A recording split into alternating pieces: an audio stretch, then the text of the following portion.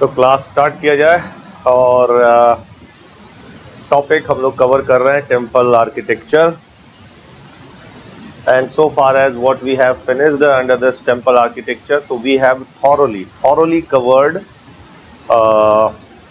Nagara temple architectural style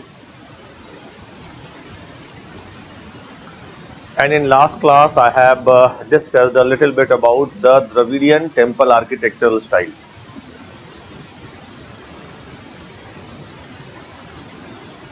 good evening ये बढ़िया नाम है आपका जो भी है सोल ऑफ़ गॉड जैसे सारे नाम अच्छे हैं बट थोड़ा यूनिक है आईडी सोल ऑफ़ गॉड लग रहा है आप शंकराचार्य के फिलॉसफी अद्वैतवादा में बिलीव करते हैं। हम्म?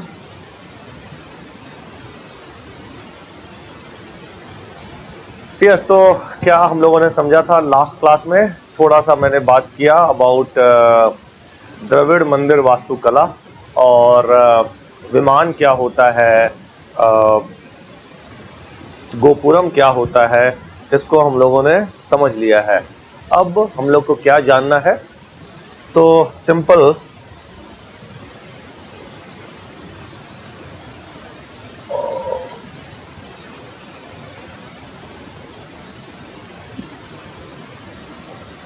Yes very good.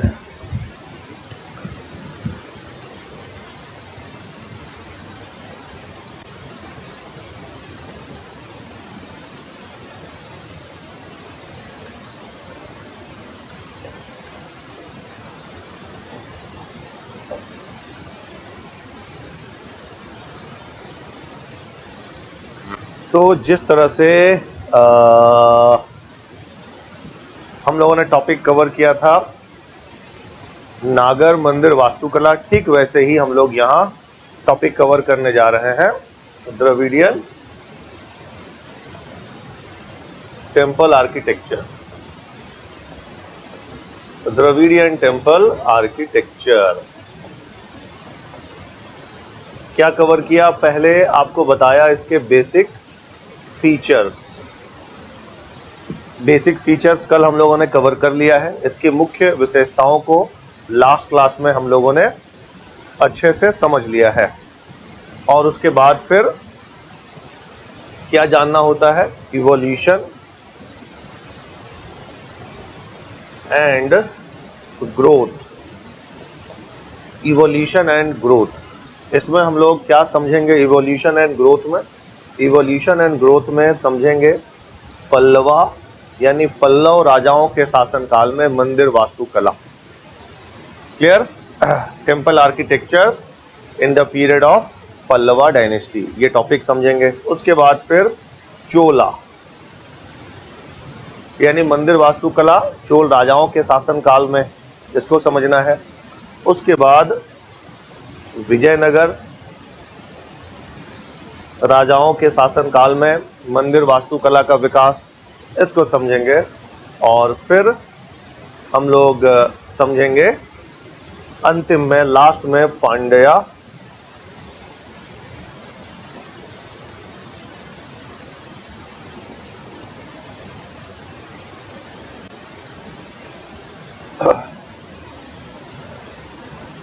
Yes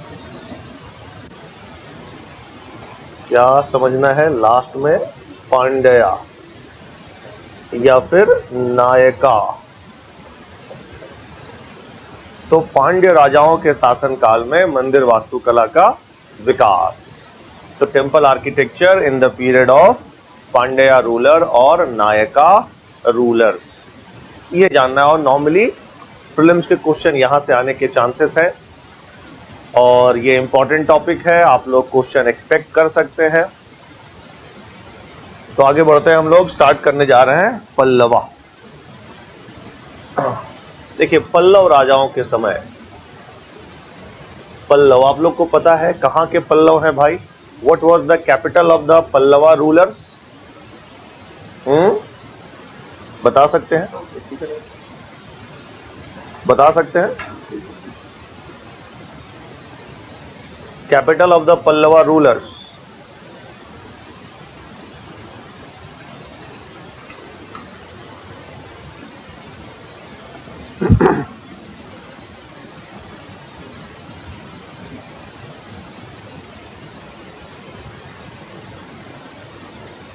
Capital था कांचीपुरम कहाँ है कांचीपुरम तमिलनाडु में है कांचीपुरम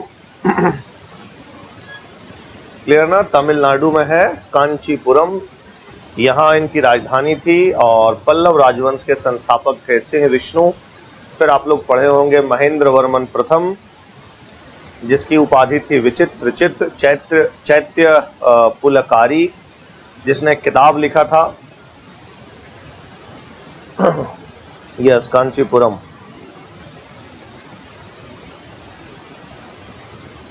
मत विलास प्रहसन, किसने बुक लिखा था? महेंद्र वर्मन प्रथम ने। फिर आप लोग पढ़े होंगे नरसिम्हा वर्मन फ़र्स्ट या नरसिंह वर्मन प्रथम, महाबलीपुरम या मामल्लपुरम के संस्थापक। फिर आप लोगों ने पढ़ा होगा नरसिम्हा वर्मन सेकेंड नरसिंह वर्मन द्वितीय। फिर आप लोग पढ़े होंगे नंदी वर्मन द्वितीय। तो ये सब इंपॉर्टेंट रूलर्स के बारे में आप लोग पढ़े होंगे और ये मैं मान के चल रहा हूँ कि आपके पास एक बेसिक आइडिया है, एक बेसिक नॉलेज है किसके बारे में? पल्लवा रूलर्स के बारे में। हुँ? तो यस पल्लव राजाओं के समय किसका इवोल्यूशन हुआ? तो पहला number evolution of what Dravidian. Dravidian temple architecture यानी हिंदी में क्या बोलेंगे इसको? कि पल्लव राजाओं के समय द्रविड़ मंदिर वास्तुकला के विकास की प्रक्रिया आरंभ हुई। क्लियर ना? द्रविड़ मंदिर वास्तुकला के विकास की प्रक्रिया आरंभ हुई। किसके समय में? आंसर है पल्लवा रूलर्स के समय में। उसके बाद जो पल्लवा टेम्पल्स थे, पल्लवा टेम्पल्स पल्लव जो मंदिर है, वह तीन प्रकार के थे। कौन कौन से तीन प्रकार है भाई? रॉक कट टेंपल यानी हिंदी में क्या बोलेंगे? रॉक कट टेम्पल्स को हिंदी में बोलेंगे गुहा मंदिर। अभी तक आप लोग समझ चुके होंगे गुहा मंदिर किसे कहते हैं। उसके बाद फिर दूसरा है मोनोलिथिक टेंपल। मोनोलिथिक टेंपल, यानी एकास्मक पत्थर से निर्मित मंदिर। एकास्मक एक पत्थर से, है ना? निर्मित मंदिर तो एकास्मक मंदिर लिख दिया यहाँ, और फिर third structural temple structural temple यानी संरचनात्मक मंदिर। ये क्या होता है, आप लोग सबको मालूम चल चुका है। स्वतंत्र रूप से बनाए गए मंदिर इंडिपेंडेंटली इरेक्टेड टेम्पल्स ये हम लोग को पता है। कि इंडिपेंडेंटली इरेक्टेड टेम्पल्स किसे कहते हैं या स्ट्रक्चरल टेम्पल्स किसे कहते हैं, ये हम लोग को मालूम है। तो ये तीन तरह के मंदिर हो गए rock cut temple monolithic temple और स्ट्रक्चरल टेंपल और द्रविड़ मंदिर वास्तुकला का विकास, किन राजाओं के समय शुरू हुआ दक्षिण भारत में? आंसर आ गया, कांचीपुरम के पल्लव राजाओं के समय। लेकिन यहाँ ध्यान देने की आवश्यकता है, वो क्या?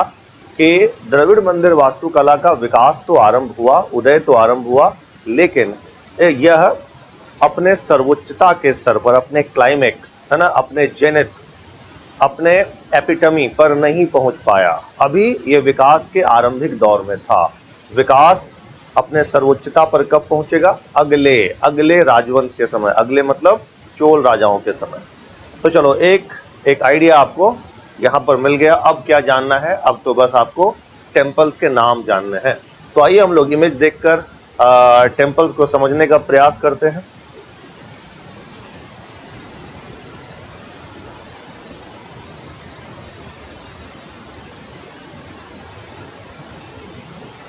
ये सब हम लोग बात कर चुके हैं, क्या है गोपुरम, है ना, विमान क्या है, ये सब लोग को समझ में आ चुका है।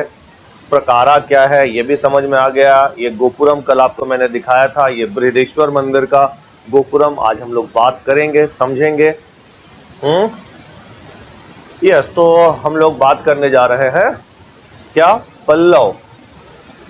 काल के मंदिर। पल्लव राजाओं के समय बनाए गए मंदिर। इसको हम लोग समझने जा रहे हैं।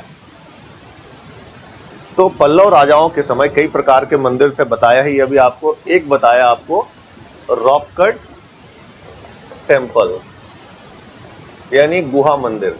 अब गुहा मंदिर भी दो तरह के हैं। एक को कहा जाता है महेंद्र वर्मन स्टाइल, यानी हिंदी में क्या बोलेंगे? महेंद्र वर्मन शैली। एक शासक थे, महेंद्र वर्मन, मैंने अभी नाम बताया। उसके समय में जो भी टेम्पल्स बनेंगे, जो भी टेम्पल्स बनेंगे, वो कैसे थे? रॉक कट टेम्पल्स थे। क्लियर ना? तो उसके शासन काल में जो भी रॉक कट टेंपल बना, उसे क्या बोला गया? उसे बोला गया है महेंद्र वर्मन शैली के मंदिर या महेंद्र वर्मन स्टाइल या टेम्पल्स ऑफ़ महेंद्र वर्मन उसके बाद दूसरा रॉक कट टेम्पल्स में क्या आएगा? आएगा मामल स्टाइल मामल स्टाइल या फिर नरसिम्हा वर्मन फ़र्स्ट तो नरसिंह वर्मन प्रथम के समय जो रॉक कट टेंपल बना, उसे बोला गया है मामल्य शैली। क्यों बोला गया है? क्योंकि नरसिंह वर्मन प्रथम की एक उपाधि थी मामल्ल या महामल्ल वह उसने महाबलीपुरम या मामल्लपुरम शहर की स्थापना की थी, इसलिए उसे मामल भी कहते हैं। क्लियर वैसे मामल का मीनिंग होता है रेसलर है ना? और महामल या मामल का एग्जैक्ट यदि मीनिंग निकालें तो ग्रेट रेसलर तो हो सकता है कि ये थोड़ा पहलवानी या कुश्ती वगैरह में इसका इंटरेस्ट था, इसलिए ऐसा नाम लिया गया या ऐसी इसकी उपाधि थी। किसकी? नरसिंह वर्मन प्रथम की। हम्म? यस तो इन दोनों राजाओं के समय आ, मंदिर का निर्माण हुआ। आ, और ये मंदिर मुख्य रूप से कहाँ देखने को मिल रहे हैं? तो ये मंदिर मुख्य रूप से आपको देखने को मिलेंगे कहाँ भाई? आंसर है महाबलीपुरम। महाबलीपुरम। महाबलीपुरम में मंदिर देखने को मिलेंगे रॉक कट टेम्पल्स जैसे महाबलीपुरम में गणेश टेंपल है। क्लियर ना? तो कई सारे वहाँ पर रॉक कट टेम्पल्स हैं। उसी तरह से महेंद्र वर्मन के प्रथम महेंद्र वर्मन प्रथम के शासन काल में तमिलनाडु में एक स्थान है मंडगा पट्टू वहाँ पर रॉक कट टेम्पल्स के एविडेंस मिले हैं। यानी महेंद्र वर्मन के शासन काल में मंडगा पट्टू नामक स्थान पे मंडगा पट्टू नामक स्थान पे रॉक कट टेम्पल्स बनाए गए हैं बट नॉर्मली आपके एग्ज़ाम के लिए इंपॉर्टेंट नहीं है, इसलिए हम लोग इस पर बात नहीं कर रहे हैं। जो आपके एग्ज़ाम के लिए इंपॉर्टेंट है और जिसके आने के चांसेस है, उसी पर हम लोग को फोकस रहना है। तो रॉक कट टेम्पल्स के बारे में बताया। है ना कि कहाँ पर एविडेंस मिले हैं रॉक कट टेम्पल्स के? महेंद्र वर्मन स्टाइल और मामल्य स्टाइल यदि आपको याद रखना है तो महाबलीपुरम और मंडगा पट्टू महाबलीपुरम और मंडगा पट्टू से क्या मिला है भाई? तो रॉक का टेंपल या गुहा मंदिर का उदाहरण मिला है। अब अगला है मोनोलिथिक टेंपल ये है important very very important monolithic temples Hindi लिखने की आवश्यकता नहीं है, पहले लिख चुका हूँ। एकास्मक पत्थरों से निर्मित मंदिर। इसे क्या बोला गया है? मोनोलिथिक टेम्पल्स बोला गया है। इसके उदाहरण कहाँ से मिले हैं और किसने बनाया है? तो ये मंदिरों को बनाया गया है build in the reign of Narasimha Varman first Narasimha Varman first यानी नरसिंह वर्मन प्रथम के शासन काल में। जिसका टाइटल क्या था, अभी बताया आप लोग को। इसकी टाइटल थी मामल, या उपाधि क्या थी? मामल इसकी उपाधि थी। ठीक है? चलिए, यहाँ तक जान गए। अब बस मंदिर का नाम जानना है। और ये मंदिर का एग्ज़ाम्पल या एविडेंस कहाँ से मिला है भाई? एविडेंस मिला है महाबलीपुरम से। महाबलीपुरम से मंदिर के उदाहरण मिले हैं। महाबलीपुरम कहाँ है? तो बंगाल की खाड़ी के तट पर स्थित एक तटीय शहर है। तो it is a coastal town located on the bay on the coast of bay of Bengal where in which state Tamil Nadu और यहाँ के जो टेम्पल्स हैं माय डियर वो हैं वर्ल्ड हेरिटेज साइट किसके? यूनेस्को के अंडर. समझ गए? महाबलीपुरम के जो पल्लव मंदिर हैं, वह विश्व विरासत स्थल का हिस्सा है। तो आ, ये देखिए, ये है महाबलीपुरम के एकात्मक मंदिर। क्या बता रहा हूँ? Monolithic made of single stone किसके समय में बना, ये आप लोग को पता है। अब बस दो चार का नाम जान लेना है। वैसे आपको पहले बता दें नाम को बताने के पहले महाबलीपुरम में जो एकास्मक पत्थरों से यानी एक पत्थर से जो मंदिर बने हैं उनको समग्र रूप से किस नाम से जानते हैं? कलेक्टिवली उनको किस नाम से जानते हैं भाई? Monolithic temples found where found at Mahabalipuram are collectively known as किस नाम से? एक नाम है सप्त पैगोडा। या फिर एक और नाम है पंच पांडवा रथ। पंच पांडवा रथ। यानी किस नाम से जानते हैं? हिंदी में बोल रहा हूँ, सप्त पैगोडा। हम्म या फिर पंच पांडव पंच पांडव रथ। पंच पांडव रथ।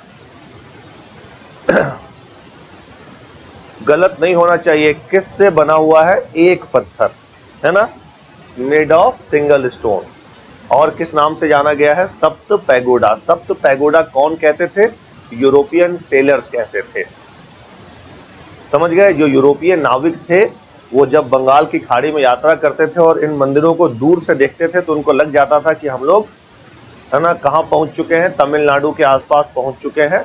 और उन्होंने इसका नाम दिया था सप्त पैगोडा। शायद सात मंदिरों का समूह रहा होगा, लेकिन ये सात मंदिर के अवशेष नहीं मिले हैं। पांडवों से, पांडवों के नाम से जुड़े हुए यहाँ मंदिर के साक्ष्य मिले हैं। कौन कौन सा है कुछ? दो चार नाम जान लेते हैं। जैसे देखिए, यहाँ पर आपको ये दिख रहा है। इसका नाम क्या है? भीम रथ भीम रथ और भी है, द्रौपदी रथ, गणेश रथ। क्लियर? ये देखिए अगला है ये गणेश रथ। किसका बना हुआ है भाई? किसका बना हुआ है? एक पत्थर का। हम्म, गणेश रथ। और जो याद रखना है वो ये है। क्या याद रखना है? पंच पांडव रथ में जो सबसे बड़ा है वो है धर्म राजा रथ या युधिष्ठिर रथ। कल जो आपको मैंने बताया था द्रविड़ शैली के मंदिर की विशेषताएँ देखिए द्रविड़ मंदिर का आरंभिक रूप आपको इसमें दिखने जा रहा है। यहाँ देखिए ये जो ये जो विमान है, ये पिरामिड नुमा है और इसके ऊपर एक स्तूपिका है। गुंबदाकार या अर्ध गुंबदाकार संरचना आपको दिख रही है है ना, स्तूपिका? तो द्रविड़ मंदिर का आरंभिक रूप आपको किसमें दिखाई देता है? उत्तर है धर्मराज रथ। या धर्म राजा रथ, कहाँ पर है ये? ये महाबलीपुरम में है और उसी पंच पांडवा रथ का हिस्सा है। तो सबसे बड़ा रथ मंदिर कौन हो गया? धर्मराज। और सबसे छोटा रथ मंदिर द्रौपदी रथ। इसका इमेज यहाँ नहीं है। द्रौपदी रथ, देखें, शायद मैंने दिया है यूज़ किया है क्या? नहीं डियर यहाँ नहीं है। तो अभी तक आपने पल्लव राजाओं में दो तरह के मंदिरों को समझा। नंबर एक रॉक कट टेंपल और number two is what number two is monolithic temple अब क्या बात करने जा रहे हैं? अब बात करने जा रहे हैं, समझने जा रहे हैं, किसके बारे में? तो समझने जा रहे हैं अबाउट अबाउट स्ट्रक्चरल टेंपल यानी संरचनात्मक शैली के मंदिर। इसका तात्पर्य क्या होता है? स्वतंत्र रूप से बनाए गए मंदिर। आप कहीं से पत्थर या कहीं से ईंट ला रहे हैं, उसको जोड़कर या इंटरलॉकिंग सिस्टम के थ्रू उस टेंपल का यदि निर्माण करते हैं कंस्ट्रक्ट करते हैं तो उसे हम लोग क्या बोलेंगे? उसे बोलेंगे स्ट्रक्चरल टेंपल तो आइए स्ट्रक्चरल टेंपल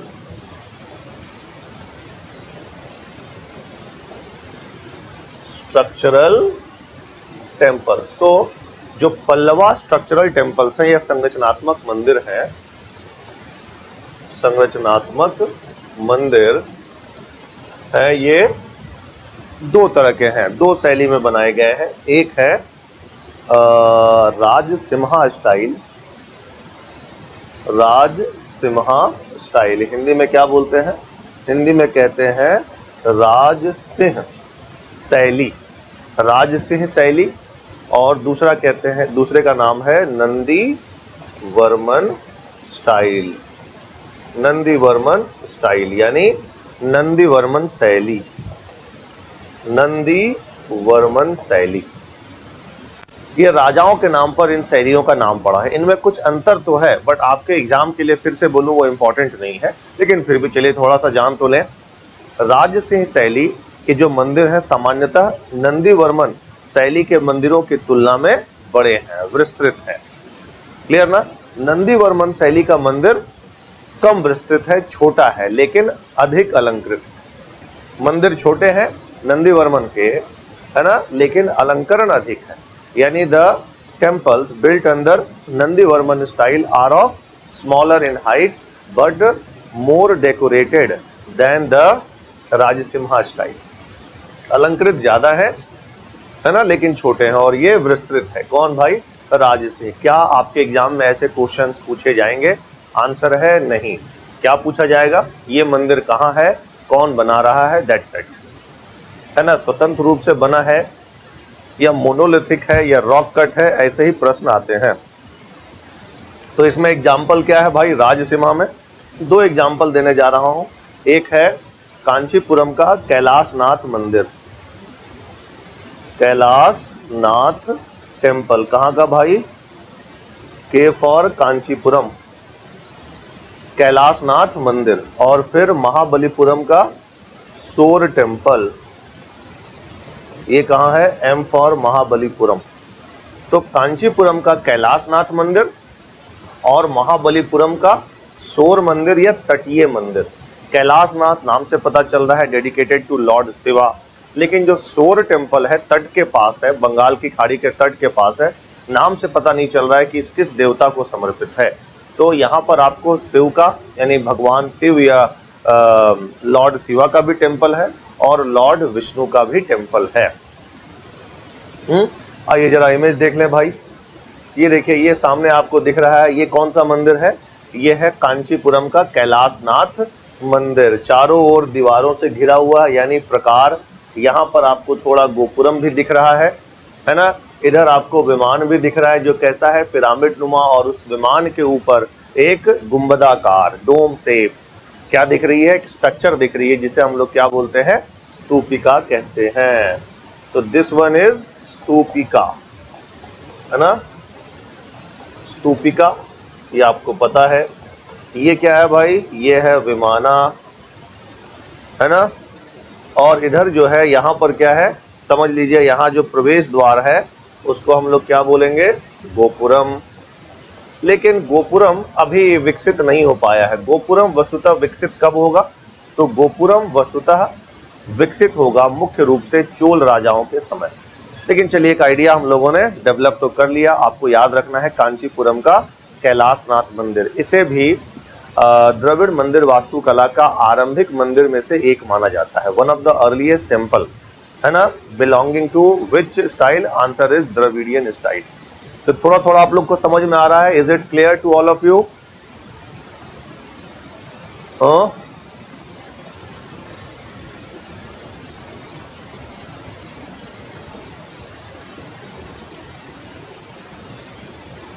समझ पा रहे होंगे?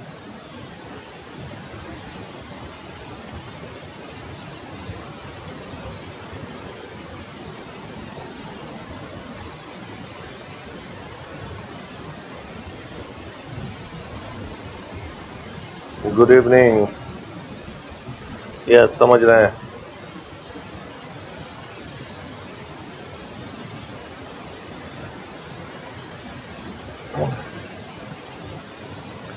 तो आगे बढ़ते हैं। एक और टेंपल आपको बताने जा रहा हूँ। क्या बताया था? आ, ये देखिए ये है आ, महाबलीपुरम का सोर टेंपल है ना? क्या बताया? क्या है भाई ये? ये है महाबलीपुरम का सोर टेंपल यानी तटीय मंदिर। कहा? महाबलीपुरम। तटीय मंदिर। किसने बनाया? तो आंसर है आ, बनाने वाले जो राजा का नाम है वो है नरसिंह वर्मन द्वितीय। राज सिंह को क्या कहा जाता है? राज सिंह किसकी उपाधि थी? नरसिंह वर्मन द्वितीय की उपाधि थी। तो यहाँ जो मैंने राज सिंह लिखा हुआ है, ये वस्तुतः किस राजा की उपाधि है? तो आंसर है नरसिम्हा वर्मन सेकेंड। नरसिम्हा सेकेंड। नरसिंह द्वितीय। या नरसिंह वर्मन द्वितीय। उसकी उपाधि थी राजसिंह उसी ने ये दो मंदिर बनाया, कैलाशनाथ मंदिर, कहाँ पर? कांचीपुरम में, और सोर टेंपल तटीय मंदिर कहाँ बनाया? इसने बनाया महाबलीपुरम में। अब जरा देखें नंदी वर्मन साहब क्या बना रहे हैं? नंदी वर्मन इसने बनाया कांचीपुरम में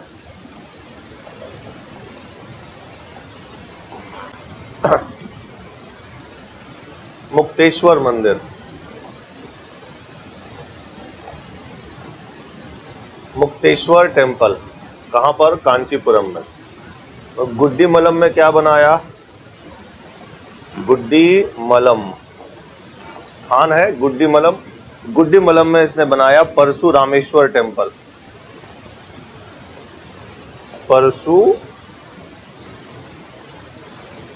रामेश्वर। गुड्डी मलम तमिलनाडु में है सारे। कांचीपुरम में वैकुंठ पेरुमल का भी टेंपल है। कांचीपुरम में एक और बता दिया।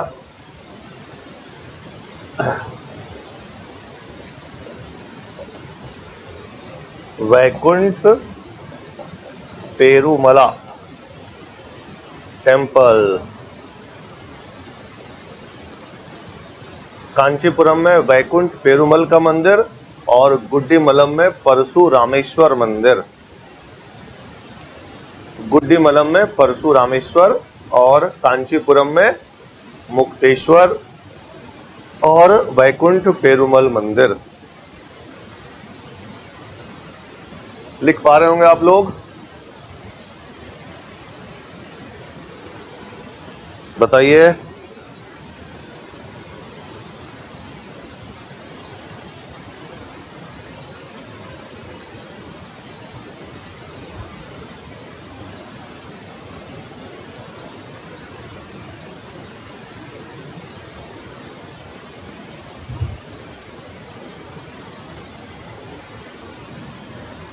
ओके हम्म हम्म हम्म हम्म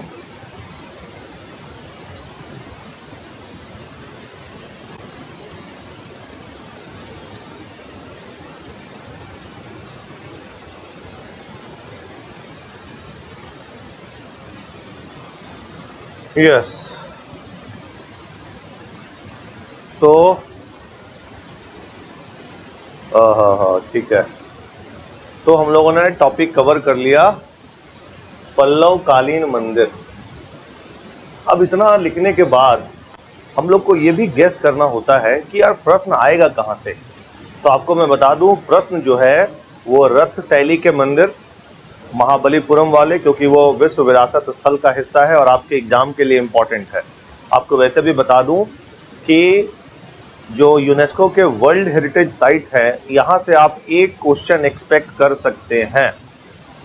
यूनेस्को के वर्ल्ड हेरिटेज साइट। तो महाबलीपुरम, यानी पल्लव कालीन जो मंदिर है महाबलीपुरम के, वो क्या है? वो यूनेस्को के वर्ल्ड हेरिटेज साइट का हिस्सा है, विश्व विरासत स्थल का हिस्सा है। तो इंपॉर्टेंट है। तो पंच पांडवा रथ इंपॉर्टेंट है। और कांची का कैलाशनाथ मंदिर और महाबलीपुरम का सोर मंदिर। यही इंपॉर्टेंट है, यहाँ से, यानी यहाँ से मतलब कहाँ से? पल्लव टेंपल से। फीचर्स आप लोग जान चुके हैं।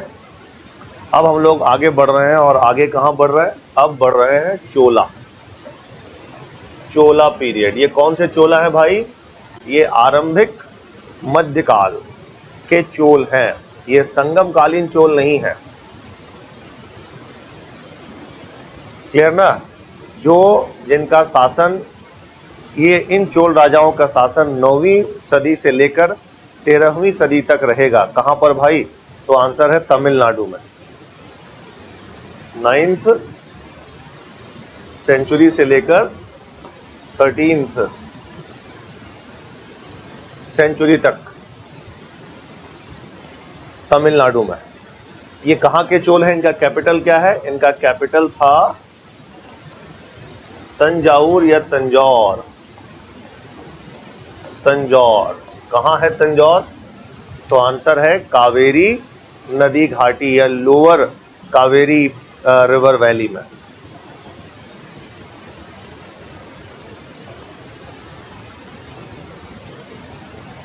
Kaveri river valley or lower Kaveri river valley. Hmm? निचला कावेरी नदी घाटी, या निम्न कावेरी नदी घाटी में कौन है? तो चोल है। तो सॉरी इनकी राजधानी है तंजौर। तो हम लोग बात कर रहे हैं तंजौर के चोल। मैं बात नहीं कर रहा हूँ उरयूर या कावेरी पत्तनम के चोल। उरयूर या कावेरी पत्तनम, या पुहार के चोल कब के हैं? संगम युग के। तो संगम युग हम लोग यहाँ नहीं कवर कर रहे हैं। हम लोग यहाँ है आरंभिक मध्यकाल। अर्ली मिडिवल एरा में है हम लोग। तो तो यस अब आइए इनके कुछ फीचर्स जान लेते हैं हम लोग। फीचर्स पहला नंबर, कि चोल राजाओं ने किस मंदिर वास्तुकला को बढ़ावा दिया? तो they patronize Dravidian temple architecture ठीक है? यानी चोल राजाओं ने द्रविड़ मंदिर वास्तुकला को संरक्षण दिया। पहला पॉइंट हो गया। उसके बाद दूसरा number Dravidian temple architecture reached to its finest form reached to its finest form यानी द्रविड़ मंदिर वास्तुकला अपने सर्वोच्चता के स्तर पर पहुँच गई। अपने उच्चतम स्तर पर पहुँच गई। क्लियर ये दो आपको मैंने इंपॉर्टेंट पॉइंट बता दिए। वैसे और भी बहुत सारे फीचर्स हैं। वो फीचर्स हम लोग को कम समझ कब समझना पड़ता है। यदि ये टॉपिक्स आपके पूरे मेंस एग्जामिनेशन में रहते तो फिर आपको पूरा जानना पड़ता है। वैसे ये आपके मेंस एग्जामिनेशन में भी है। तो लेकिन हम लोग यहाँ प्रोब्लम्स टॉपिक कवर कर रहे हैं मेंस के बारे में बात नहीं कर रहे तो बस यही दो पॉइंट तक रखते हैं कि द्रविड़ मंदिर वास्तुकला अपने सर्वोच्चता के स्तर पर पहुँच गई। और चोल राजाओं ने द्रविड़ मंदिर वास्तुकला को संरक्षण दिया। अब बेसिकली हम लोग को जो इम्पोर्टेंट टेम्पल्स हैं, जो चोला पीरियड में बने हुए हैं, उन सारे टेम्पल्स के बारे में जान लेना है। दो चार टेम्पल्स का नाम जान लेना है। वैसे चोल राजाओं ने बहुत सारे मंदिरों का निर्माण करवाया बट जानना है कुछ ही मंदिरों के बारे में।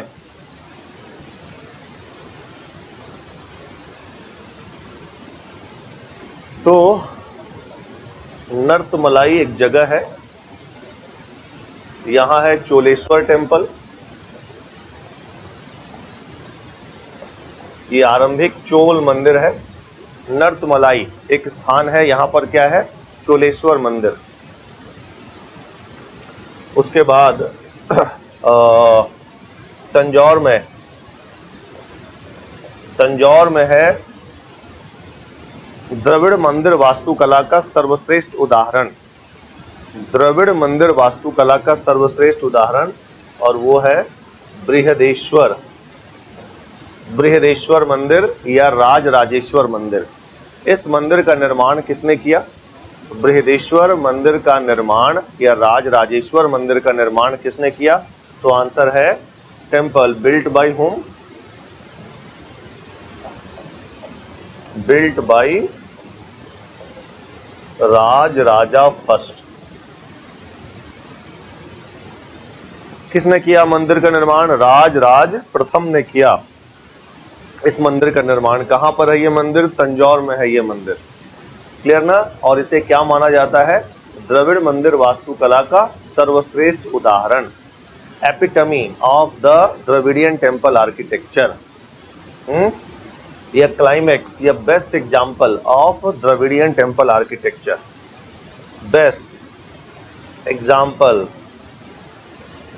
of the Dravidian temple architecture और epitome of the Dravidian temple architecture तो द्रविड़ मंदिर वास्तुकला का सर्वश्रेष्ठ उदाहरण मानते हैं। क्लियर ये?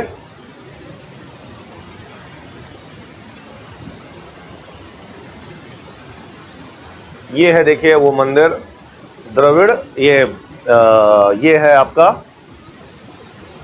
बृहदेश्वर मंदिर या राज राजेश्वर मंदिर? किस देवता को समर्पित है? या किस देवता से संबंधित यह आ,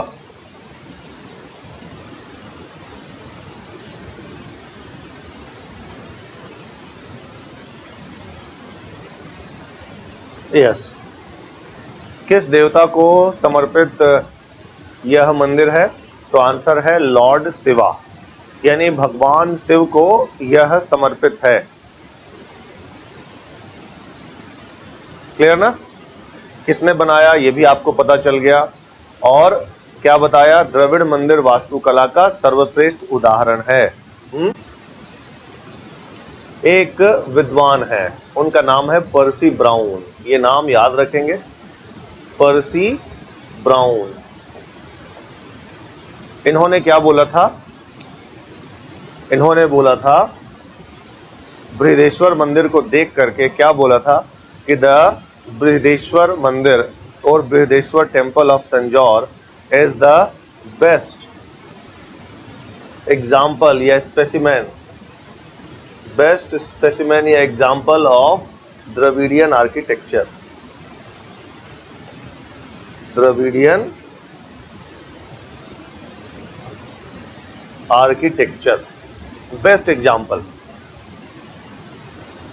ये देख रहे हैं, ये स्तूपिका जो है, ये स्तूपिका किस अच्छा आप हिंदी में बता दूँ कि किस विद्वान ने बृहदेश्वर मंदिर के बारे में कहा था कि बृहदेश्वर मंदिर द्रविड़ मंदिर वास्तुकला का श्रेष्ठ उदाहरण है, या सर्वश्रेष्ठ उदाहरण है। तो आंसर है Percy Brown. Percy Brown. Clear?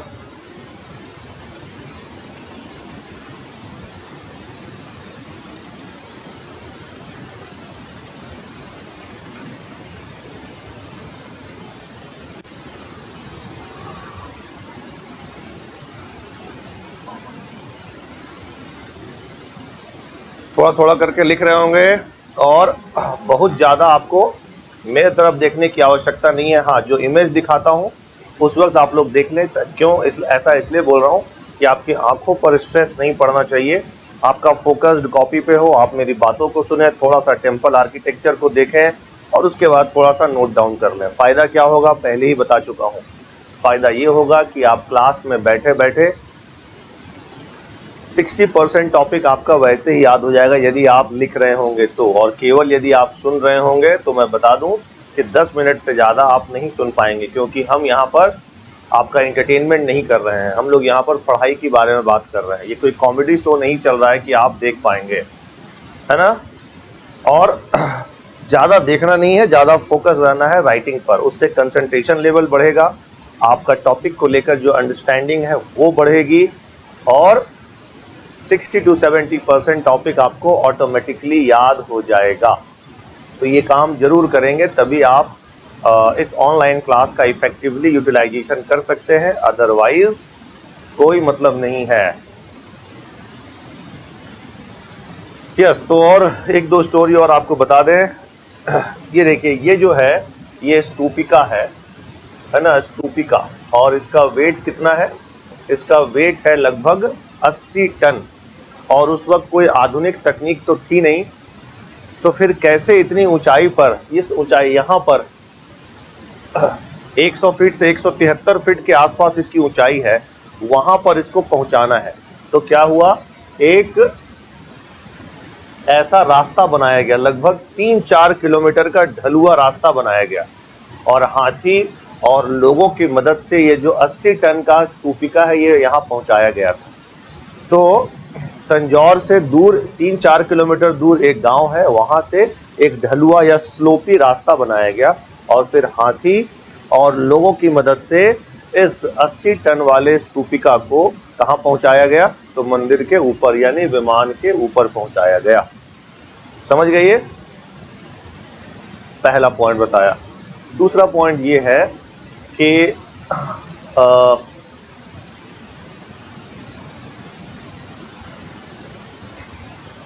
दूसरा पॉइंट है कि यह जो मंदिर है यह किस पत्थर का बना हुआ है? तो आंसर है ग्रेनाइट ग्रेनाइट पत्थर का। और कहा जाता है इसके आसपास, यानी जहाँ यह मंदिर बना, इसके आसपास ग्रेनाइट नहीं मिलते हैं। तो कुछ विद्वानों ने कहा कि ग्रेनाइट काफ़ी दूर से लाया जाता था। कुछ लोगों ने तो यहाँ तक कह दिया कि ये ग्रेनाइट पत्थर गुजरात से मंगाया जाता था। तो काफ़ी दूर से आ, ये मंदिर ये इसके निर्माण सामग्री यानी ग्रेनाइट पत्थर मंगाया गया। चोल राजाओं के बारे में ये भी कहा जाता है कि इन लोगों ने अपने पॉकेट से पैसा निकालकर मंदिर नहीं बनाया। जब भी इनको मंदिर बनाना होता था तो दूसरे राजाओं के राज्य पर आक्रमण करते थे वहाँ से धन संपदा लूटते थे और उस धन संपदा के द्वारा मंदिर का निर्माण करते थे। वैसे इस मंदिर के बारे में और भी बहुत सारी बातें हैं इंटरेस्टिंग बातें हैं बट क्या हमारे एग्ज़ाम के लिए इंपॉर्टेंट है? आंसर है नहीं। और क्या ये ये हमारे पास इतना टाइम है कि हम लोग वो सारे स्टोरी सुने? स्टोरी सुनने में तो अच्छा लगेगा लेकिन अभी हम लोग के पास टाइम नहीं है। तो खैर इसलिए हम लोग और बात नहीं करने जा रहे हैं। किसने बनाया? कहाँ पर है? द्रविड़ मंदिर वास्तुकला का सर्वश्रेष्ठ उदाहरण क्या है? उसके बाद फिर आ, सबसे बड़ा द्रविड़ मंदिर में इसे ही माना गया है। है ना? सबसे बड़े जिस, ऐसा द्रविड़ मंदिर जिसका जिसका गोपुरम सॉरी गोपुरम नहीं, विमान सबसे बड़ा है। गोपुरम तो किसी और मंदिर का बड़ा है। तो कौन सा ऐसा मंदिर है जिसका विमान सबसे बड़ा है? तो आंसर है, वृद्धेश्वर मंदिर। किस देवता को समर्पित है? लॉर्ड शिवा को। कौन सा निर्माण सामग्री? Construction material, granite. तो ये सब आपको याद रखना है। क्या यूनेस्को का विरासत स्थल, विश्व विरासत स्थल है?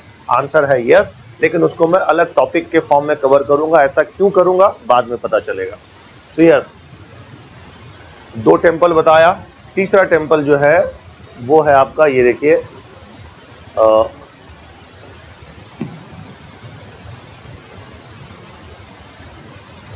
ये देखिए, ये दूस, ये तीसरा टेंपल इसको हम लोग क्या कहते हैं? ये जो टेंपल है, इसका नाम है गंगई कोंड चोलपुरम का शिवा टेंपल शिवा टेंपल। शिव मंदिर कहाँ का भाई? शिवा टेंपल ऑफ़ गंगई कोंड चोलापुरम। ये कहाँ पर है गंगई कोंड चोलापुरम? आउटस्कर्ट ऑफ़ तंजावुर या तंजौर। इस शहर का निर्माता कौन है? इस शहर का निर्माता है राज राज प्रथम का पुत्र राजेंद्र फ़र्स्ट, है ना? इसने इस शहर को क्यों बनाया? राजेंद्र प्रथम ने। तो राजेंद्र प्रथम की चोल सेना ने बंगाल के पाल शासक को बंगाल में जाकर, उस पाल शासक का नाम था महिपाल तो बंगाल में जाकर चोल सेना ने महिपाल को पराजित किया। और इसके उपलक्ष्य में राजेंद्र प्रथम ने एक उपाधि धारण की। तो क्या बताया अभी तक? The Chola army, वेंटवेयर, Bengal, and defeat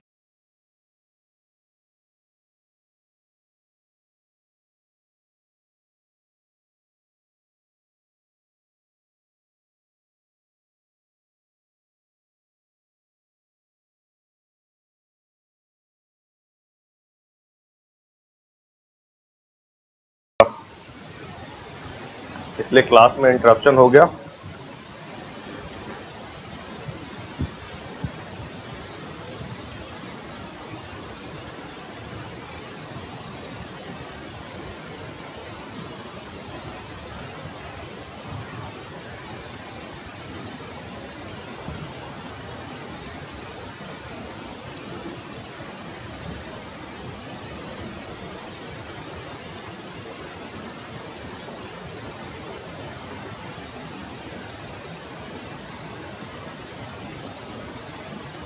yes dear तो हम लोग आ, आ, समझ रहे थे चोल कालीन मंदिर।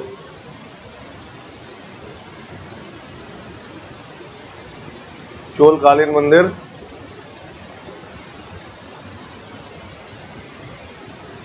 और चोल कालीन मंदिर में मैंने अभी अभी तक आपको बता दिया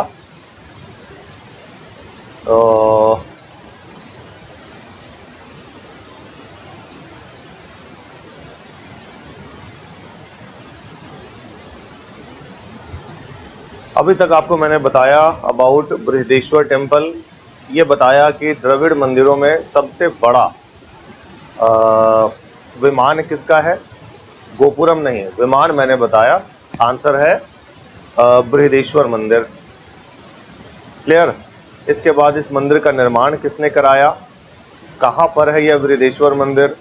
किस आ, पत्थर का यह बना हुआ है? इसके बारे में बनाया बताया आप लोग को। और फिर हम लोग टॉपिक कवर कर रहे थे। यस मैं बता रहा था आपको, गंगई कोंड चोलपुरम का प्लीज़ वेट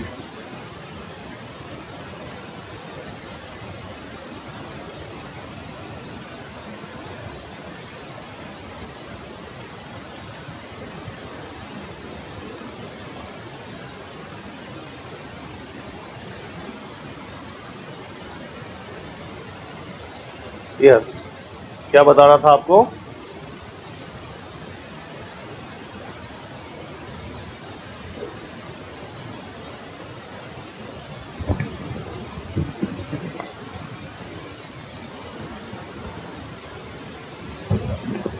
आपको बता रहा था?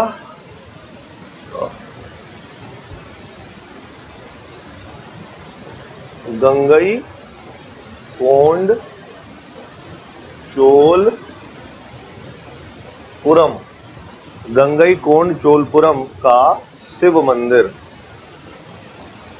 शिव मंदिर, है ना? यानी the Shiva temple of Gangai Konda Cholapuram है कहाँ पर भाई ये? तो ये है आउटस्कर्ट ऑफ़ तंजौर या गंगई कोंड चोलपुरम में। तंजौर का जो बाहरी हिस्सा है, वहाँ पर है, जिसे हम लोग कहते हैं गंगई कोंड चोलपुरम यह वस्तुतः एक शहर था, छोटा सा शहर था। इसका फाउंडर या इसका संस्थापक कौन? तो इसका संस्थापक राजेंद्र फ़र्स्ट। राजेंद्र प्रथम, ये कौन है? तो ये है राज राज प्रथम के पुत्र। क्लियर ना राज राज प्रथम के पुत्र, Rajendra first. Now everything is clear आप लोग को समझ में आ रहा होगा अभी।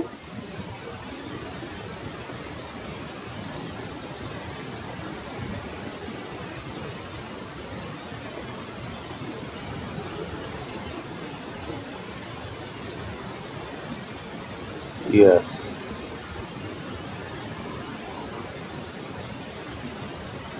हाँ। ठीक है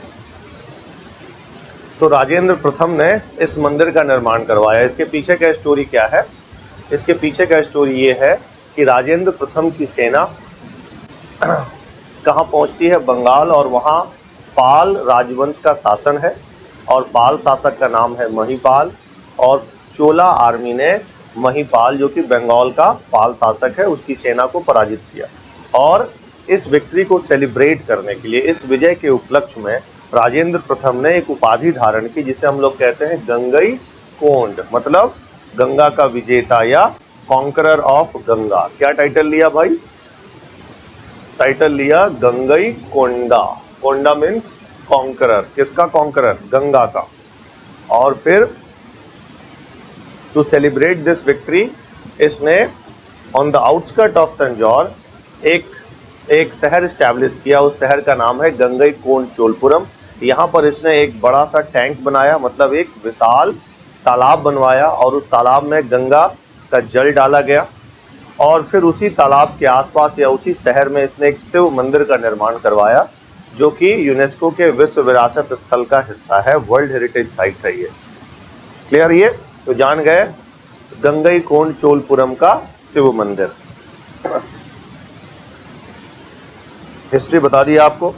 और ये है तीसरा, ये सॉरी फोर्थ वन इसे हम लोग कहते हैं दारासुरम का ऐरावतेश्वर मंदिर।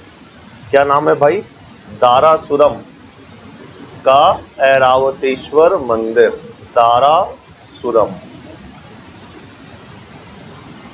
दारा, सुरम तमिलनाडु में जगह है और यहाँ मंदिर का नाम है ऐरावतेश्वर मंदिर।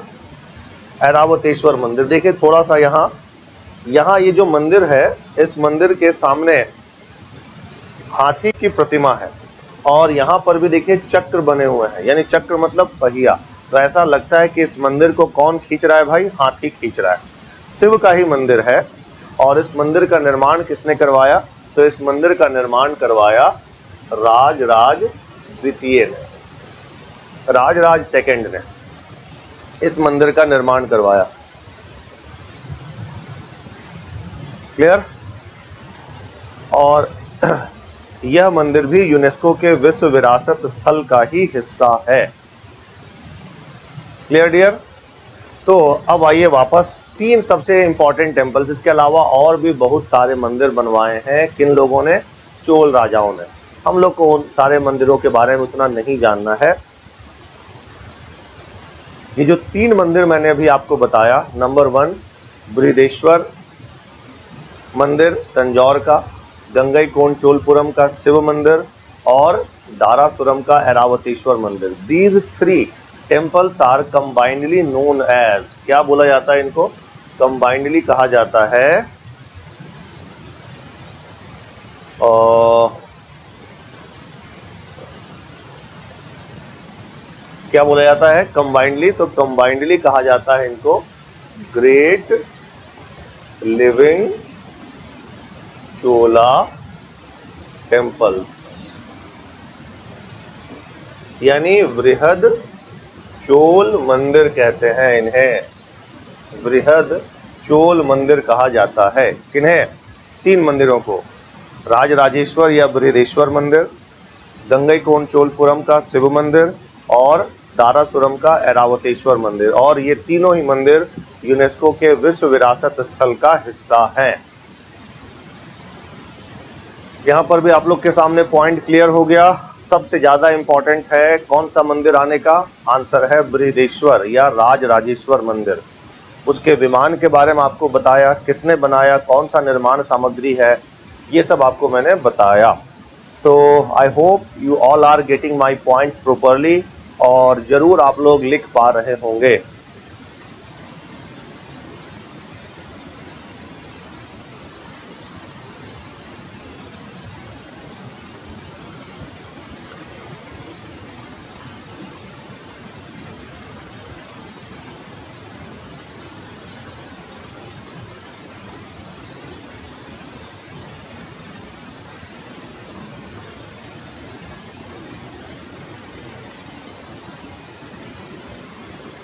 Is it clear?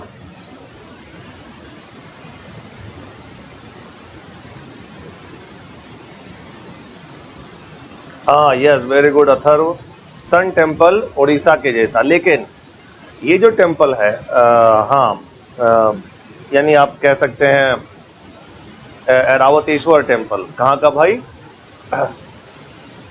तारासुरम का। तो ये टेंपल पहले बना है। किससे? Sun temple of Konark Konark का सूर्य मंदिर के पहले ये मंदिर बना है, लेकिन हाँ लगभग आप वैसा कह सकते हैं वहाँ पर ऐसा लग रहा है कि कौन टेंपल को पुल कर रहा है, कौन खींच रहा है? हॉर्स और यहाँ पर कौन है? एलिफेंट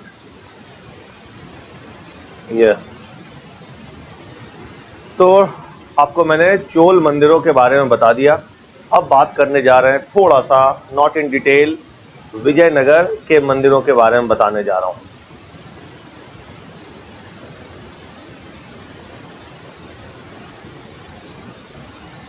फिर से मैं मान के चल रहा हूँ कि आप लोगों को विजयनगर के बारे में एक एक आइडिया है। विजयनगर में आप लोग चार राजवंश के बारे में पढ़े होंगे। संगम राजवंश, सालू सालुब राजवंश तुलुब राजवंश और अराबिडू राजवंश। Sangama dynasty Saluva dynasty Tuluva dynasty and Aravidu dynasty है ना, विजयनगर, जिसको हम लोग हम्पी भी कहते हैं, और ये तुंगभद्रा नदी के किनारे, तुंगभद्रा नदी के दाहिनी ओर, ये यदि तुंगभद्रा नदी है, मान लिया जाए तो यहाँ इसके दाहिनी ओर क्या है, विजयनगर या हम्पी। ये राजधानी थी, मुख्य राजधानी थी, और ये है कहाँ पर, विजयनगर या हम्पी तो आंसर है कर्नाटक में है। याद रखना है, कर्नाटक में है, विजयनगर या हम्पी। यूनेस्को का विश्व विरासत स्थल है और इसी क्षेत्र में, कर्नाटक और आंध्र क्षेत्र में चार हिंदू राजवंशों ने शासन किया। 1336 से लेकर यदि हम लोग बात करें, लगभग 1641 ईस्वी तक, यहाँ पर चार राजवंशों का शासन था सीक्वेंस में। पहला आया संगम राजवंश, जिसके संस्थापक कौन थे? हरिहर बुक्का।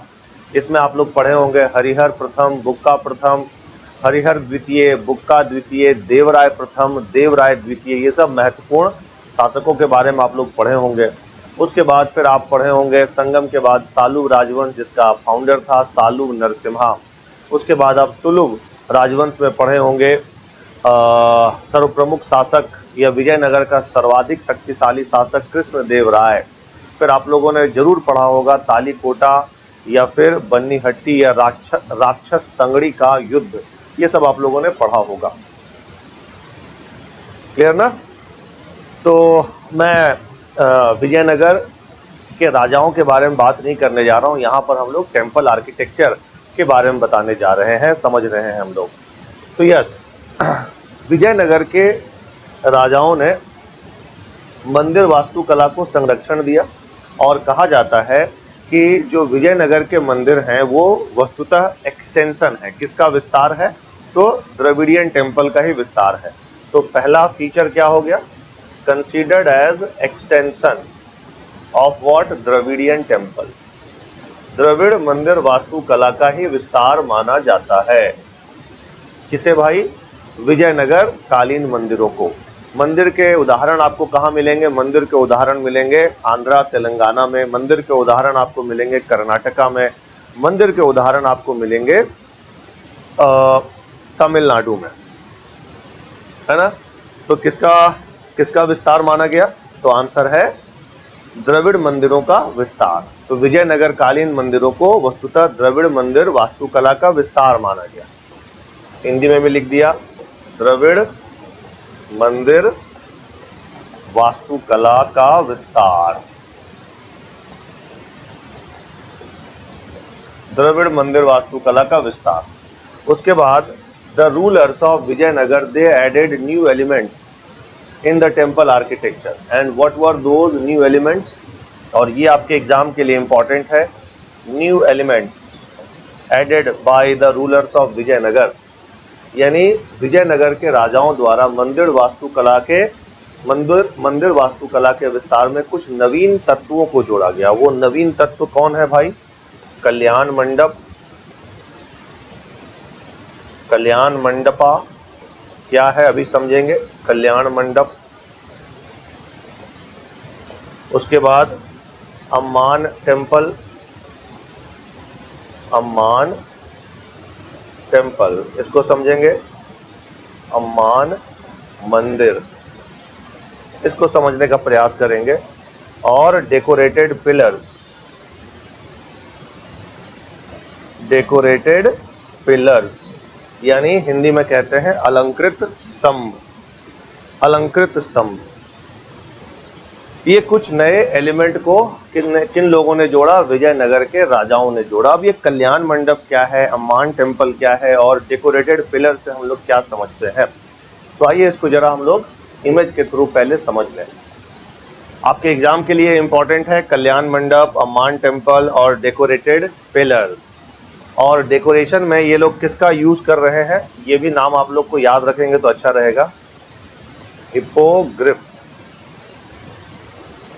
हिपोग्रिफ यानी एक मिथकीय अश्व। ऐसा घोड़ा जिसके पंख हैं।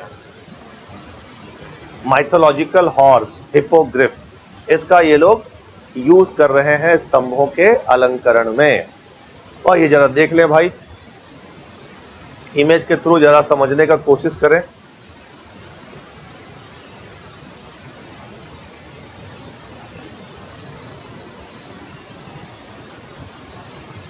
ये देखिए, यहाँ है अलंकृत स्तंभ में इस स्तंभ के ऊपरी हिस्से में घोड़े की मूर्ति है। काव्ड स्टैचू है। काव्ड स्कल्पचर है। किसका? हॉर्स का। और देखिए क्लियर और दिख जाएगा अभी। ये देखिए यहाँ। घोड़े का, लेकिन यहाँ पर एक्चुअल में हिपोग्रिफ नहीं है। यहाँ पर इस घोड़े पर एक आदमी सवार है। लेकिन इसके पहले वाले में, इसके पहले वाले में, इसके पहले वाले में ये जो है, ये हिपोग्रिफ है। यहाँ पर हिपोग्रिफ है। क्लियर ना? इस जगह पर हिपोग्रिफ है। तो ये विजयनगर के मंदिरों की एक विशेषता है हिपोग्रिफ या अश्व। उसके बाद दूसरा क्या बताया आपको भाई? दूसरा आपको बताया, ये है कल्याण मंडप। ये क्या होता है, कल्याण मंडप? तो मंदिर के जो मुख्य देवता हैं, जो मेन गॉड हैं टेंपल के, उनका मैरिज सेरेमनी यहाँ ऑर्गेनाइज किया जाता है।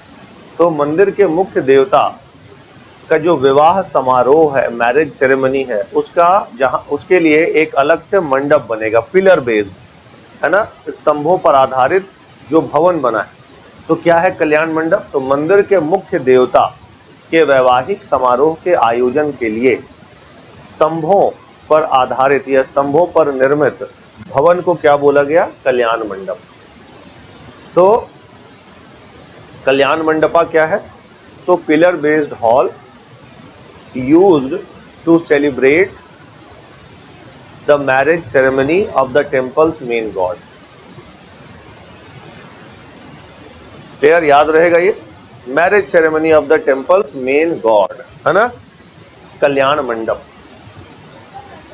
Clear next is this one is what the Amman temple ये क्या है भाई अम्मान टेंपल तो ऐसे पहले एग्ज़ाम्पल से समझते हैं। मंदिर है, समझिए शिव का। और शिव की पत्नी है पार्वती तो पार्वती के लिए एक अलग से उसी टेंपल कॉम्प्लेक्स में एक अलग से मंदिर बनाया जाएगा। छोटा मंदिर बनाया जाएगा, उसी मंदिर को हम लोग क्या कहेंगे? अम्मान टेंपल यानी अम्मान टेंपल क्या है? तो Amman temple was a separate shrine built for the consort C O N S O R T consort मतलब मुख्य पत्नी। तो separate shrine built for the consort of the temple's main god यानी मंदिर के मुख्य देवता की पत्नी के लिए अलग से जो मंदिर बनाया गया है उसे ही हम लोग क्या कहेंगे? अम्मान मंदिर। तो ये तीन इंपॉर्टेंट एलिमेंट याद रखेंगे। अलंकृत स्तंभ जिसमें किसका किसकी मूर्ति बनाई जाती थी? तो आंसर है अश्व का घोड़े की मूर्ति बनाई जाती थी उसके ऊपरी हिस्से में जिसको हम लोग इंग्लिश में हिपोग्रिफ कहते हैं। एक तरह का माइथोलॉजिकल हॉर्स है। दूसरा नंबर कल्याण मंडप पिलर बेस्ड हॉल है हम्म, जहाँ पर टेंपल के मेन गॉड का मैरिज सेरेमनी ऑर्गेनाइज होता है। और third one is the Amman मंदिर। मंदिर के मुख्य देवता के लिए मंदिर के मुख्य देवता की पत्नी के लिए बनाया गया आ, मंदिर। इसे ही कहते हैं अमान टेंपल चलिए तो हम लोगों ने नाम जान लिया। अब दो चार मंदिर का नाम याद रख लें जो कि आपके प्रॉब्लम्स में आ सकता है। है ना मैंने फिर से विजयनगर के राजाओं ने बहुत सारे मंदिर बनाए। लेकिन क्या हम लोग को सारे मंदिरों का नाम जानना है? आंसर है नहीं। हम वैसे मंदिरों का नाम जानेंगे जो कि सामान्यतः यूनेस्को के विश्व विरासत स्थल का हिस्सा है। तो विजयनगर के राजाओं ने बड़ी संख्या में, कहा मंदिर बनाया भाई? तो बड़ी संख्या में विजयनगर के राजाओं ने मंदिर बनाया कहाँ पर? आंसर है हम्पी, कर्नाटक में। विश्व विरासत स्थल है, उन्नीस सौ छियासी ईस्वी में इसे विश्व विरासत स्थल का दर्जा मिला। यहाँ पर कई सारे मंदिर हैं। विठल स्वामी मंदिर, कृष्ण स्वामी मंदिर, विरूपाक्ष मंदिर, हजारा राम स्वामी मंदिर। ये देखिए, ये है विठल स्वामी मंदिर, है ना? सारे कहाँ है भाई? सारे के सारे जो मंदिर हैं, ये हम्पी वाले बता रहा हूँ। हम्पी, और फिर हम्पी में ही है विरूपाक्ष मंदिर। क्लियर? तो विठल स्वामी और विरूपाक्ष मंदिर, हम्पी के दो सर्वश्रेष्ठ मंदिर हैं, विरूपाक्ष और विठल स्वामी। क्लियर?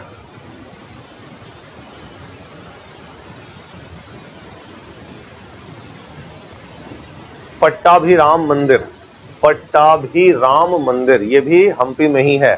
पट्टा भी पट्टाभिराम मंदिर, और और लिखना चाहें तो लिख सकते हैं। एक और मंदिर लिख लीजिए जो आपके एग्ज़ाम के लिए इंपॉर्टेंट है, और वो क्या है भाई? वो है हजारा राम स्वामी मंदिर, हजारा राम स्वामी टेंपल, हजारा राम स्वामी टेंपल। कहाँ पर है? हजारा राम स्वामी टेंपल? तो आंसर है, हजारा राम स्वामी टेंपल है आपके हम्पी में। तो विठल स्वामी मंदिर, विरूपाक्ष मंदिर पट्टाभी राम मंदिर, हजारा राम स्वामी मंदिर, कृष्ण स्वामी मंदिर, ये सारे कहाँ हैं? ये सारे के सारे हम्पी में और इसमें अधिकांश मंदिरों का निर्माण किसने करवाया? कृष्ण स्वामी मंदिर, विरूपाक्ष मंदिर विठल स्वामी मंदिर, हजारा राम स्वामी मंदिर, इन सारे मंदिरों का निर्माण, हालाँकि पूरी तरीके से तो नहीं, लेकिन एक बड़े हिस्से का निर्माण किसने करवाया? आंसर है कृष्ण देव राय ने, जो कि विजयनगर का सर्वाधिक शक्तिशाली शासक था। बाबर अपने ऑटोबायोग्राफी अपनी आत्मकथा में लिखता है कि कृष्ण देव राय उस समय के भारत के सर्वाधिक शक्तिशाली शासक थे। तो इन सारे मंदिरों का निर्माता कौन है? Who built all these temples answer is Krishna Deva Raya और सारे के सारे मंदिर कहाँ हैं? तो सारे के सारे मंदिर हैं हम्पी विजयनगर कर्नाटक में। तुंगभद्रा नदी के किनारे विश्व विरासत स्थल है। क्लियर ये? तो हम लोगों ने टॉपिक कवर कर लिया क्या? टॉपिक कवर कर लिया temples built in the Vijayanagar empire अब लास्ट हम लोग बात करने जा रहे हैं। और वो है पांड्या या नायका, राजाओं के समय, नायक राजाओं के समय बनाए गए मंदिर। तो ये मंदिर आपको बेसिकली कहाँ मिलने वाला है, कहाँ दिखेगा? तमिलनाडु में। और पांड्य राजवंश के जो मंदिर हैं, वो किसके लिए प्रसिद्ध है? आंसर है अपने मैसिव है ना लार्ज गोपुरम के लिए। और गोपुरम क्या है, आप लोग को पता है the gateway of the temple complex यानी मंदिर संकुल का प्रवेश द्वार। तो पांड्य राजाओं द्वारा किस मंदिर का निर्माण करवाया गया? आंसर है द्रविड़ मंदिर। लेकिन इन लोगों ने द्रविड़ मंदिर के किस ऑर्गन या किस अंग का सर्वाधिक विकास किया? किस अंग के निर्माण पर विशेष बल दिया? तो आंसर है गोपुरम। सामने जो मंदिर आपको दिख रहा है, ये है मदुरई का मीनाक्षी सुंदरेश्वर मंदिर। मीनाक्षी मतलब पार्वती और सुंदरेश्वर शिव। का मंदिर है तो पार्वती और शिव का मंदिर है कहाँ भाई? तो मदुरई, जिसे हम लोग दक्षिण का काशी कहते हैं, और जो मदुरई शहर है, ये वैगई नदी के किनारे है। तो देखिए, यहाँ मंदिर बहुत छोटा है। क्लियर ना? लेकिन जरा देखे तो गोपुरम। गोपुरम जो है, वह मंदिर से बड़ा हो गया। और कई सारे गोपुरम जुड़ गए और कई सारे प्रकार। देखिए, एक प्रकार, दो प्रकार, तीन प्रकार। क्लियर ना? तो प्रकार की संख्या भी बढ़ते जा रही है और मुझे पता है और मैं आप लोगों से ऐसी अपेक्षा भी रख रहा हूँ कि आप लोग को प्रकार होता क्या है ये मालूम है आप लोग को, है ना? मंदिर संकुल को जो चारों ओर दीवार से घिरा जाता है, उसे हम लोग क्या कहते हैं? प्रकार कहते हैं। तो देखिए, प्रकार की संख्या भी बढ़ रही है और गोपुरम की संख्या भी बढ़ रही है। देखिए, यहाँ गोपुरम, ये गोपुरम है, दूसरा गोपुरम है, इधर से भी गोपुरम, ये भी गोपुरम, यहाँ भी गोपुरम है ना? और बीच में आपको एक छोटा सा मंदिर दिखने वाला है। तो मंदिर से बड़ा क्या हो गया? गोपुरम। क्लियर तो मदुरई में कौन सा मंदिर है? आंसर है, मदुरई में जो मंदिर है, जो फ़ेमस टेंपल है, उसको हम लोग क्या बोलेंगे? मीनाक्षी सुंदरेश्वर मंदिर। एक दो मंदिर का और नाम हम लोग जान लेते हैं। ये मीनाक्षी सुंदरेश्वर मंदिर का अंदरूनी हिस्सा है और यहाँ पर मूर्तियों से इस मंदिर को सजाया गया है। मूर्ति एक विशेष प्रकार की यहाँ मूर्तियों का निर्माण किया जाता था, जिसे हम लोग यली कहते हैं। बट आपके एग्ज़ाम के लिए इंपॉर्टेंट नहीं है। आपके एग्ज़ाम के लिए इतना ही इंपॉर्टेंट है कि कहाँ पर है का, ये मीनाक्षी सुंदरेश्वर मंदिर या सिंपली मीनाक्षी मंदिर कहाँ है? तो कहाँ है भाई? तो आंसर है मदुरई में।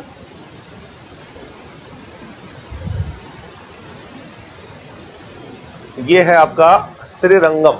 श्रीरंगम क्या है? एक द्वीप है, जो कि तमिलनाडु के तिरुचिरापल्ली ज़िले में है और कावेरी और कोली डैम नदियों के बीच में एक द्वीप है और उसी द्वीप पर यह मंदिर है क्या? रंगनाथ स्वामी का मंदिर।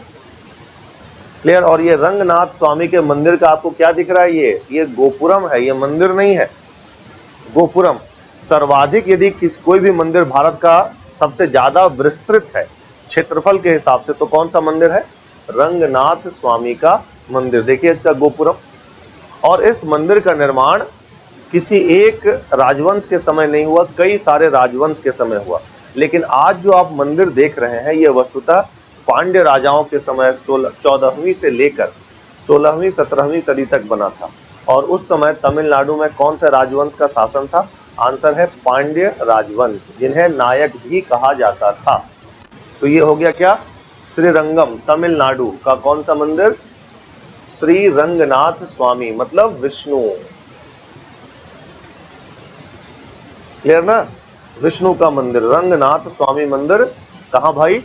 तो श्रीरंगम, तमिलनाडु। एक और मंदिर का उदाहरण देखते हैं हम लोग।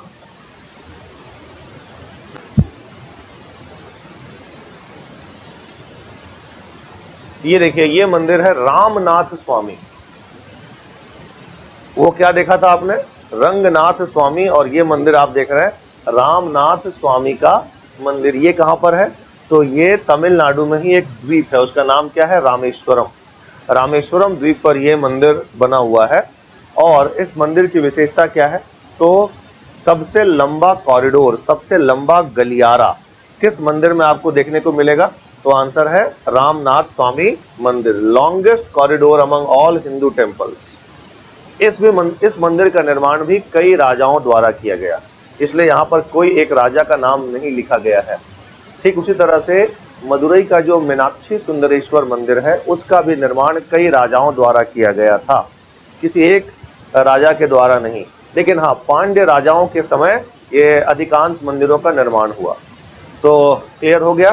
कहाँ पर है ये मंदिर? रामनाथ स्वामी आंसर है रामेश्वरम।